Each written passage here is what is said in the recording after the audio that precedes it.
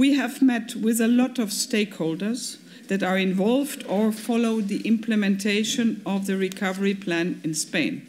And I want to thank everybody for the openness and constructive criticism.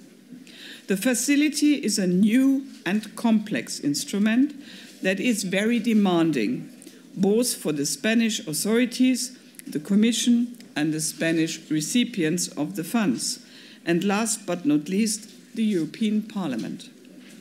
One of the priorities of this committee is to ensure transparency. The Spanish government informed that almost all the information is published, but we have found that a lot of data is available but difficult to be found for the public and the journalists. There are reports published every three months and a web page where different documents, a lot of different documents, are published.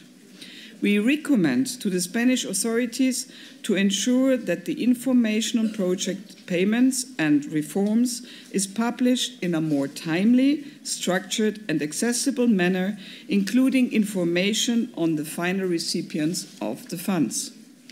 We have also found that the control system COFFEE, and the Minerva system to avoid conflict of interest are operational, functional, and mostly implemented by now.